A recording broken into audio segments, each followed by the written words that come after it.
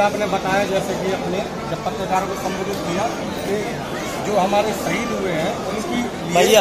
यज्ञाहुति दी जाएगी। तो क्या शहीद परिवार के लोगों को भी इसमें शामिल किया जाएगा? हमारे जवान शहीद परिवार जो हुए उनके लिए यज्ञ है उनका परिवार भी सम्मिलित हो रहा है। भारत के बहुत से हमारे जवान शहीद परिवार के लोग नहीं हैं और निश्चित रूप से उनको बुलाया जा रहा है वो आएँगे आहुति करेंगे। और मुख्यमंत्री जी की तरफ़ से आपने बताया कि मध्य प्रदेश के मुख्यमंत्री आ सकते हैं। इसके अलावा कौन कौन से नेता इसके अलावा छत्तीसगढ़ के उप मुख्यमंत्री श्री विजय शर्मा जी वहाँ के भी मुख्यमंत्री जी चर्चा कर रहे थे कि वो भी आएँगे।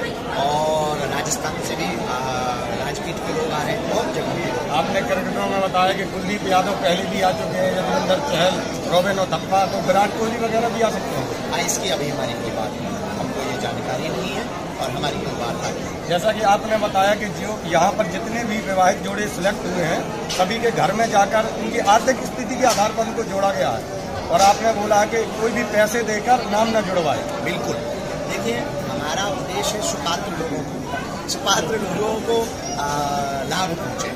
कोशिश ये हमारी समिति ने टीम ने की है बहुत मेहनत की है और निश्चित रूप से मदद जो लोग आएँगे तो उनके लिए यहाँ पर पेयजल की व्यवस्था जगह जगह जल की व्यवस्था। रुकने की व्यवस्था दो लाख स्क्वायर फीट में टेंट लगाया जा रहा है। सौ एकड़ से ज़्यादा में भूमि में आयोजन की तैयारी हो रही है। टेंट लगना प्रारंभ हो गया है और शरबत की व्यवस्था चाय की व्यवस्था भंडारे की व्यवस्था लगभग तीस लाख लोगों की व्यवस्था पर्याप्त रूप में यहाँ बागी सुविधा पर की जानी बागी हनुमान जी की कृपा से निश्चित रूप से यह आयोजन महाकुंभ भव्य और दिव्य कैंसर अस्पताल का उद्घाटन कब होने की संभावना है? दो हज़ार उनतीस के पहले तक उद्घाटन करेंगे। अभी तो हमारे सामने एक मार्च से आठ मार्च तक का यह महापौर